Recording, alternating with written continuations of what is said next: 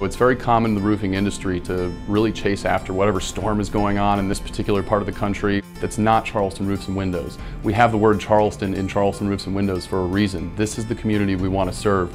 There's always going to be somebody there uh, that's going to be able to help you. You're going to have a contact, you're going to have three contacts um, throughout the company. We do a roof inspection. I'm going to walk around the property with you.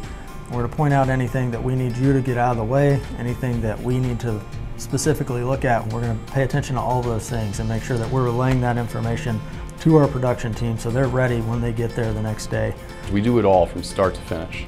We have free inspections, we have free assessments, we take pictures of the roof, we walk you through exactly what's going on up there. Charleston Roofs and Windows has some seasoned veterans that are able to go into these kind of situations, assess some damage, and they have these connections in the insurance industry, and it's very common where they get about 93 to 95% off of the roof. Happens every day. In this day and age, it's hard to find a corporation where quality is job one. From the sales rep to the individual who uh, actually put our roof on. We knew they knew what they were talking about. The knowledge base was outstanding. We care about our people that work here and we care about our customers. That shows with over 100 five-star reviews that we have. Give us a call sometime. Let us check out your roof. If it's over 10 years old or your house is over 10 years old, there's a good chance that you might have something going on that you might need our help with. Give us a call.